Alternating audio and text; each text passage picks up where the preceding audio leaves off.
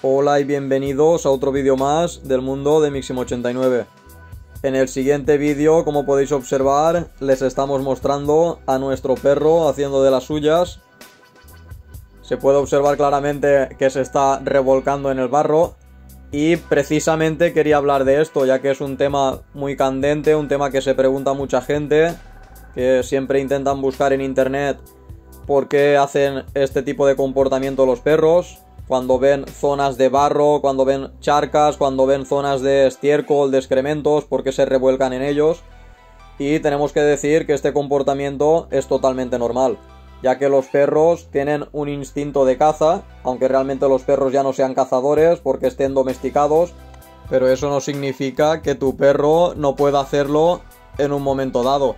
Está claro que si vives en la ciudad o en el pueblo, a no ser que vayas a una zona ajardinada y que precisamente en ese momento tenga barro, está claro que el perro no se va a revolcar en esas zonas, porque precisamente no las tiene. Pero si llevas a tu perro a zonas de campo donde hay campos que a lo mejor se han acabado de regar o que acaba de llover y hay zonas de barro, zonas de charcas, pues sí o sí puede que tu perro acabe en, embarrado al 100%. Y esto te lo digo por, experiencia, porque en este caso nosotros tenemos a este perro al cual le gusta cazar de manera instintiva muchas ratas, tiene mucho tacto para cazarlas, las caza todas o casi todas, detectándolas encima del naranjo y pues claro, en estos momentos aprovecha para refrescarse en la charca y al mismo tiempo camuflar su olor corporal para no ser detectado por los depredadores.